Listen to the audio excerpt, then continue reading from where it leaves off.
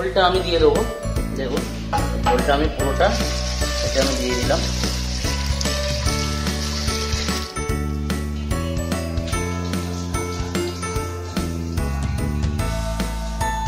আমি একটুখানি ক্রাশ করে আরও দিয়ে দিচ্ছি।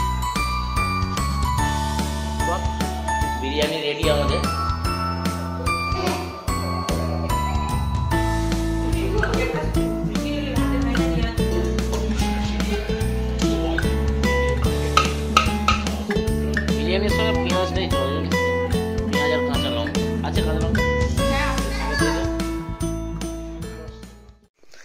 গুড ইভিনিং বন্ধুরা।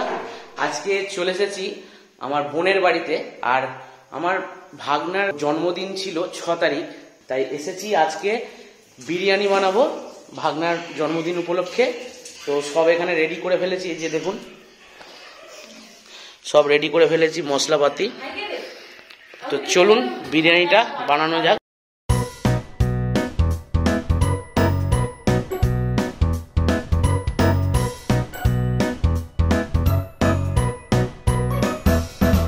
এখানে এলাচ আছে দারচিনি লবঙ্গ আছে এখানে কাশ্মীরি লঙ্কার গুঁড়ো আছে।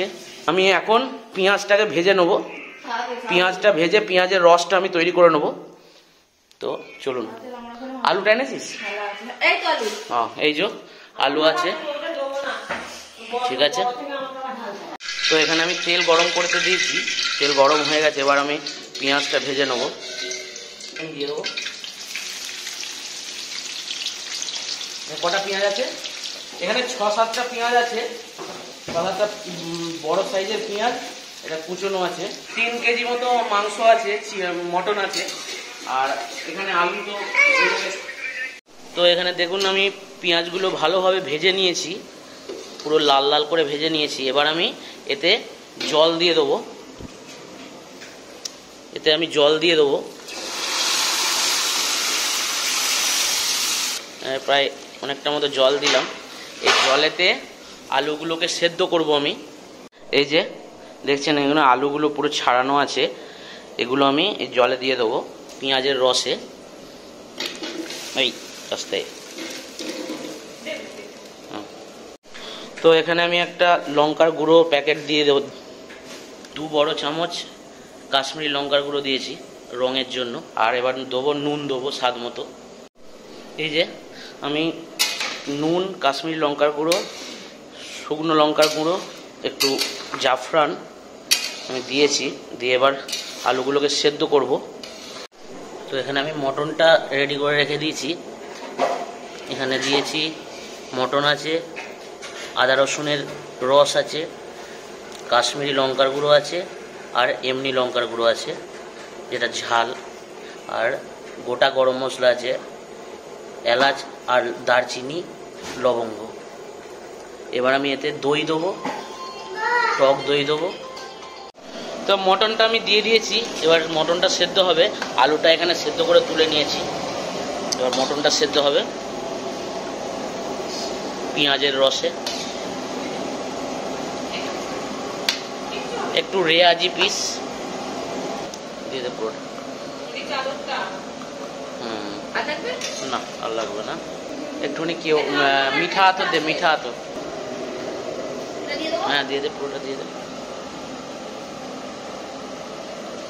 একটু মিঠা আতর দিলাম। না এইটাই সহজ পদ্ধতি। তো এটা ভালো করে ফুটবে। একটু ছোট হলে খুব ভালো হতো। সেদ্ধ হোক, পুরো সেভেন্টি পার্সেন্ট সেদ্ধ করব। তারপরে দমে বাকিটা হবে। এই যে আলুটাও সেদ্ধ করে নিয়েছি। আমার মাংসটা সেদ্ধ হয়ে গেছে, মটনটা সেদ্ধ হয়ে গেছে। আর মটনের জুসটা আমি ছেঁকে নিয়েছি। এই যে, এটা পুরো জুসটা। এই জুসটাতে আমি এখন দুধ দেবো আর বিরিয়ানি মশলা দেবো। তো আপনারা দেখতে থাকুন কী কী দিই। এবার আমি এটা বিরিয়ানি মশলাটা দিয়ে দিলাম। দু চামচ থেকে তিন চামচ। একটু কেওড়া জল দিলাম গোলাপ জল দিলাম। এই দুধটা অর্ধেক আমি দিয়ে দেবো এতে। এটা কত কতটা দুধ আছে? অর্ধেকটা দিয়ে দিলাম আর অর্ধেকটা আমি রেখে দিচ্ছি। এটা একটা ঘোল বানাবো এটা মশলা দেওয়া। আমাদের ঘোলটা ভালো করে মিশিয়ে নেব।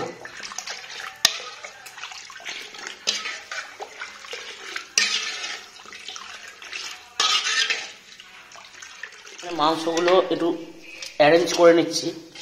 একটু ছোট ছোট পিস নিয়েছি, অসুবিধা নেই, তাই জন্য একটু বেশি সেদ্ধ করিনি, যাতে ভেঙে না যায়। তো আমি মাংসগুলো অ্যারেঞ্জ করলাম। আলুটা দাও। এবার আমি সেদ্ধ আলুগুলো অ্যারেঞ্জ করে দিচ্ছি। সেদ্ধ আলুগুলো অ্যারেঞ্জ করে দিলাম।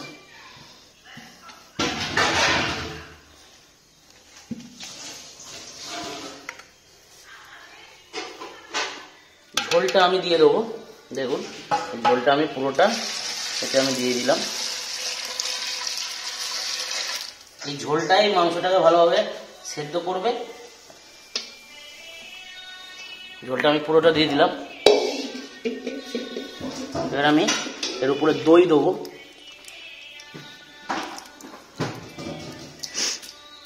এটা আমি সাজিয়ে নিচ্ছি পুরো। টক দই দিয়ে দিলাম।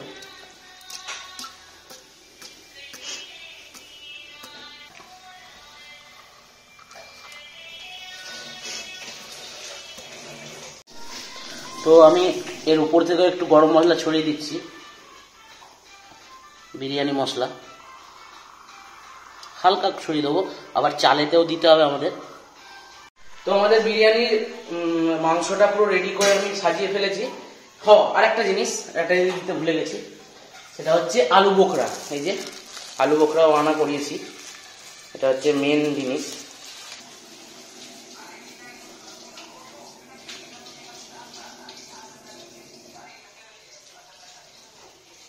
গোবরাটা দিয়ে দিলাম ওপর থেকে খোয়া ক্ষীর দেবো। এই খোয়া ক্ষীরটা গ্রেট করাই আছে দেখুন গ্রেট করাই আছে, মিষ্টির দোকান থেকে এনেছে। আমি একটুখানি ক্রাশ করে আরও দিয়ে দিচ্ছি। খোয়া ক্ষীরটা দেওয়া মানে একটু হালকা মিষ্টি মিষ্টি ভাব আসা। এটা আমি এবার ঢাকা দিয়ে দেবো। ঢাকা দেবো। তো এবার আমি চালটা বসাবো, ভাতটা তৈরি করব। এখানে দুধের যে মশলা মিশ্রণটা বানিয়ে ফেলেছি, আর এটা হচ্ছে জাফরান গোলা জল। এতে কেওড়া জল আছে, মিঠা আতর আছে, আর গোলাপ জল আছে। আর এখানে একটু জাফরান দিয়েছি, স্যাফরন। আর এখানেও একটু স্যাফরন দেওয়া আছে। এটা একটু গরম, দুধটা একটু গরম আছে। আর এই যে আমার দুটো হেল্পার হেল্পার নাম্বার ওয়ান আর হেল্পার নাম্বার টু। তো এখানে আমি জল গরম হয়ে গেছে, আমি এতে দিলাম গোটা গরম মশলা, নুন আর একটু সাদা তেল। চালটা ভিজিয়ে দিয়েছি ভিজতে দিয়েছি, পরিষ্কার চাল। আড়াই কিলো চাল আছে। তো রাইসটা আমি দিয়ে দিয়েছি। রাইসটা সেদ্ধ হোক। দেখা এটা। রাইসগুলো আমি সাজাচ্ছি, দেখুন।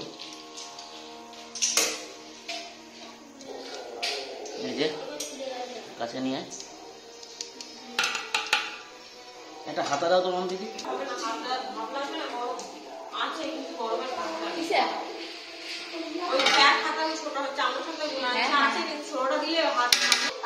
তো একটা লেয়ার দিয়ে দিলাম এবার আমি দুধের ঘুমটা দিয়ে দেবো।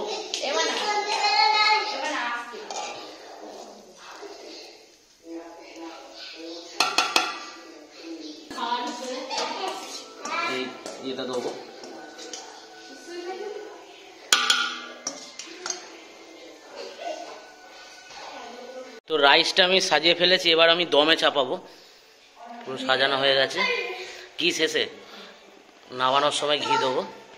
আমি আটা দিচ্ছি না, আটা দিয়ে আর সিল করছি না। পরিষ্কার ন্যাকড়া দিয়েই, কাপড় দিয়ে আমি সিল করলাম।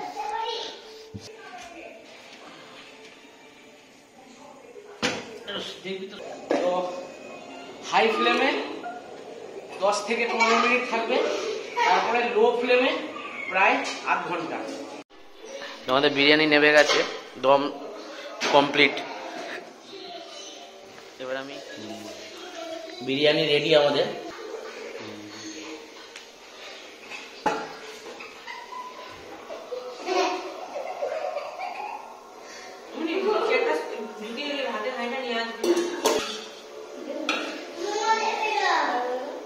চালগুলো দেখুন, পুরো একটা একটা চাল। পুরো একটা একটা চাল।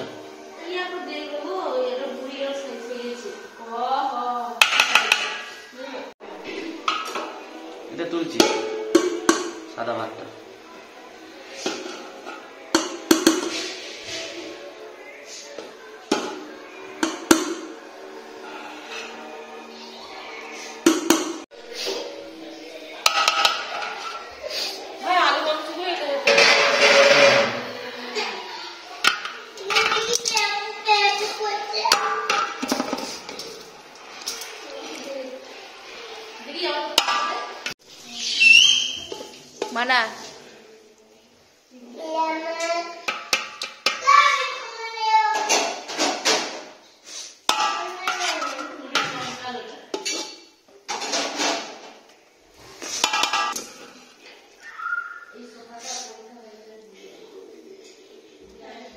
তো আমি এখন একবার বাড়িতে এসেছি বাড়িতে বাবাদের বিরিয়ানিটা দিতে এসেছি এই যে বাবার খাচ্ছে। কেমন হয়েছে বাবা? হুম। এই যে পূজারা খাচ্ছে। তো আমি ওখানে খাব ওখানে মৌ আছে আর আমার ভাইজিটা আছে। যাই চল- চলুন ওখানে খাওয়া দাওয়া করব। এই যে আমার ভাগনা খাচ্ছে বার্থডে বয় মানে কেমন হয়েছে? ভালো? ও সাদা ভাত খাচ্ছে? ও সাদা ভাত খাচ্ছে। এখানে রিয়া খেতে বসেছে আর মৌ খেতে বসেছে।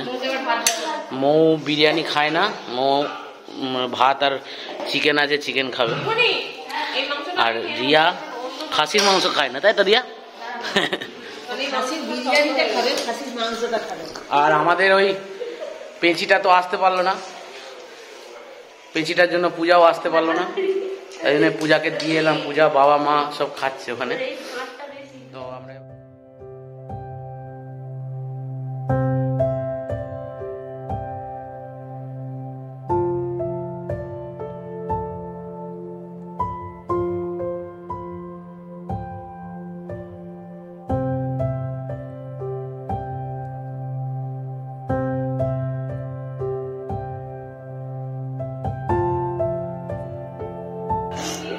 বিরিয়ানির সঙ্গে পেঁয়াজটাই চলে জানিস তো? পেঁয়াজ আর কাঁচা লঙ্কা। আছে কাঁচা লঙ্কা? হ্যাঁ.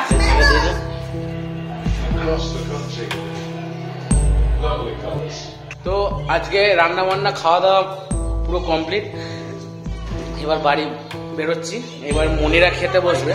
মনিরা এবার খেতে বসবে। ওই যে। এবার ওরা খেতে বসবে। বাবুল কীরকম হয়েছে বিরিয়ানি? হ্যালো।